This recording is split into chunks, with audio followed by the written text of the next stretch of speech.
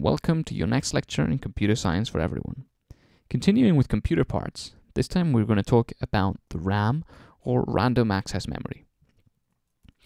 Random access memory is a set of boxes or cells as we call them, and each of these cells has the value 1 or 0 in them. These are stored in enormous arrays like this one, where the cells are, are grouped in a, in, a, in a list, a sequential list, where one comes after another. And then these are the actual rows in the RAM.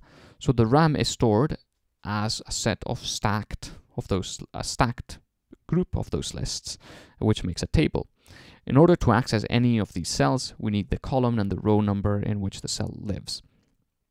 That's how we access the data in the RAM. Um, but how much data do we actually have in a computer? Because we don't have 20 boxes like we have here. We have a few more.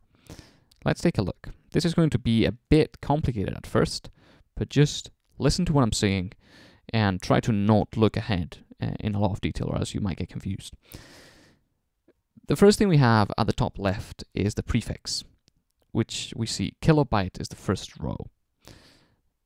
The value of this uh, kilobyte is 2 to the power of 10 bytes.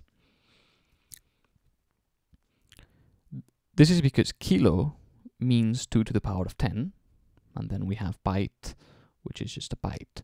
So kilobyte is 2 to the power of 10 bytes. Going into the next row, megabyte is 2 to the power of 20 bytes. Gigabyte is 2 to the power of 30 bytes, and terabyte is 2 to the power of 40 bytes how much is a byte? A byte is eight of those cells that you've seen in the previous slide. So each one of those cells holds a 1 or a 0 value.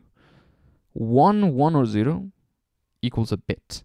So 1 bit is the smallest piece of information you can have in a computer. It's either a 1 or a 0.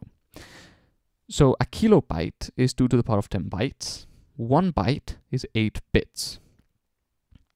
So 2 to the power of 10 times 8 is 8192. So 2 to the power of 10 is 1024.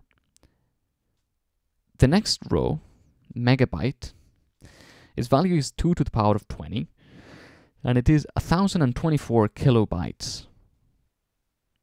The following line, gigabyte, is 1024 megabytes, on the last one, terabyte, is 1024 gigabytes.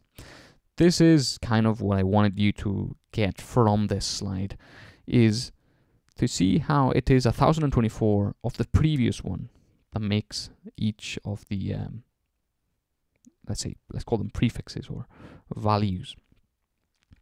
So a kilobyte is 1024 bytes megabyte is 1024 kilobytes, a gigabyte is 1024 megabytes, and a terabyte is 1024 gigabytes.